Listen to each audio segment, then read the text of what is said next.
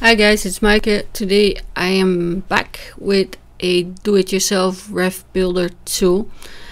Um, it's not my idea, Gina K Designs came out with one and I wanted to try to make one first to see if I like it before I invested in it. And I cut a paper that's a little bit smaller than 6 inches so it would go through my die cutting machine. It's square and it fits in the MISTI or in any stamping tool that you have except the mini MISTI I will have to say but you can make it any size that you want. My biggest square die that I have is three and a half inches. So that's the biggest I can make my wreath. But if you have bigger ones you can make a bigger stencil up to and has to go through the die cutting machine so up to six inches I guess. I think it is the uh, big shot anyway. If you have the Gemini you can do twice the size of course. And I um well traced the corners and then the middle and then I put the corners of the die cut so that it matches perfectly with the lines that I just drew and I'm sorry I did this off screen because I'm gonna get my die cutting machine off the other desk and then I pass it through. And to make sure it's all straight I just glued on some grid paper onto some sturdy card.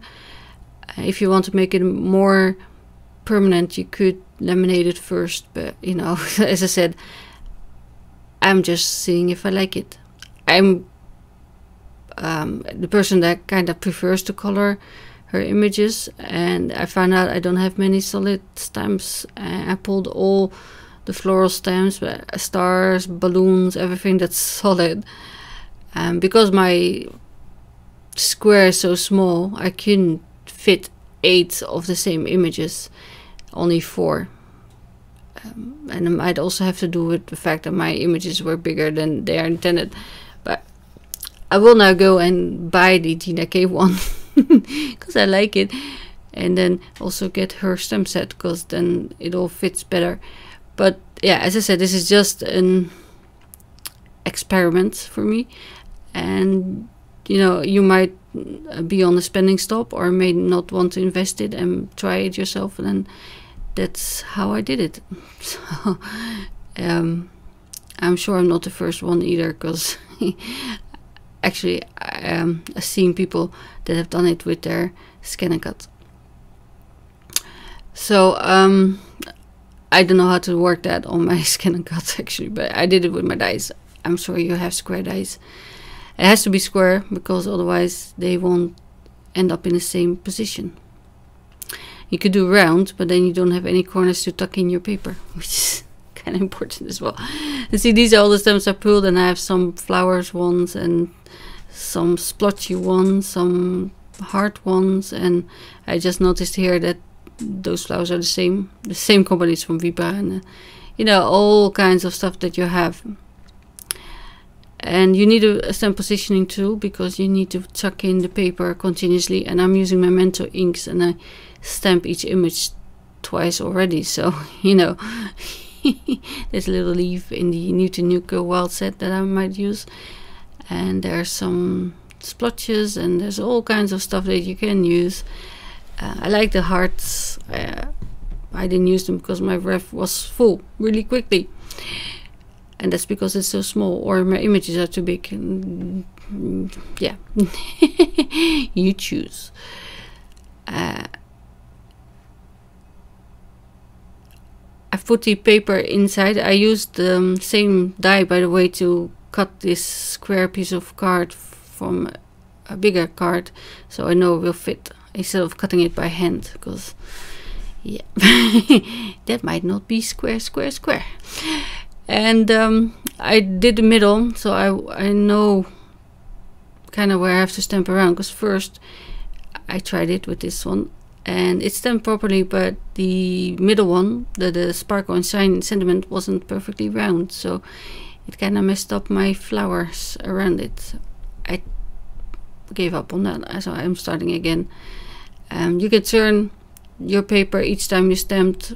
I'm doing anti-clockwise, you can do clockwise, doesn't matter. Just make sure you turn it around one notch. And I'm sure you've seen videos like this already. And the principle is the same.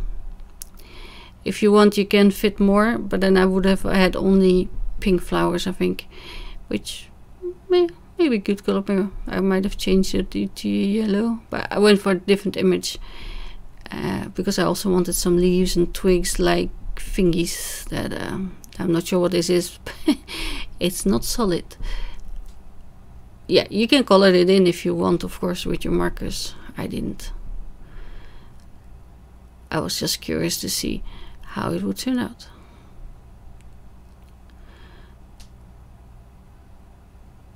of course, I have to have it uh, come from the States.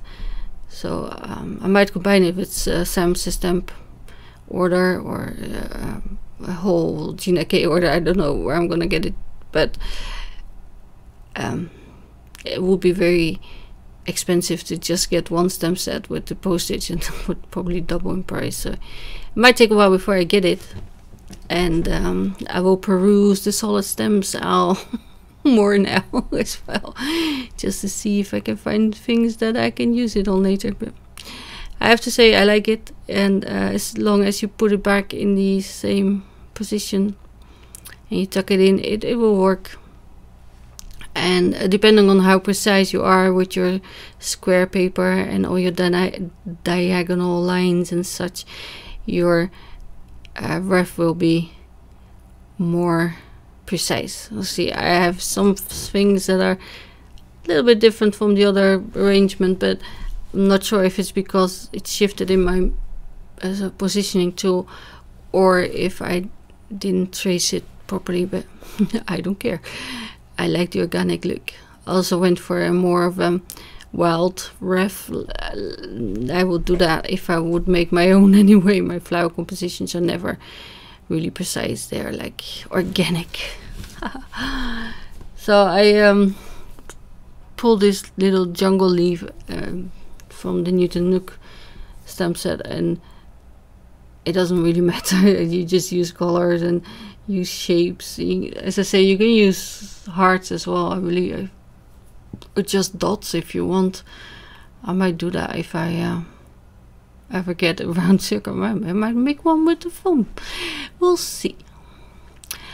And um, yeah, these these are just drops or splotches from a stamp set from Studio Light and I thought they could be flowers, so I just put them in. oh no. So I um, don't think you really need that cross in the middle, but I wanted to make sure uh, to keep an eye on, on the center. And it's now too small to stamp a sentiment in there, of course. I, I'm not sure it even looks like a proper ref, but yeah, as I said, if I did it with real flowers, it wouldn't look like a ref either. I'm not very good at flower composition.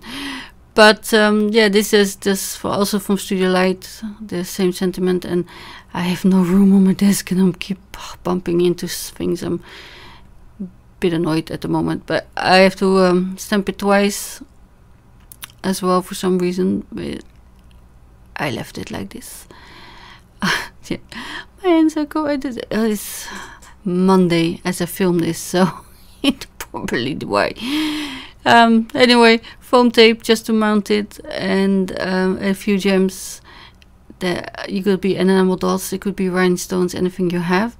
I pulled out some nail stickers which I liked. The, uh, you know, when I walk into the drugstore, I see things that are sticky, and I wouldn't necessarily put these on my nails, by the way but uh, I, I picked the four blue ones and I put them on in the center of the pink ones. Oh, A yeah. Anyway, thank you for watching, and I will see you again Thursday or Thursday. Bye.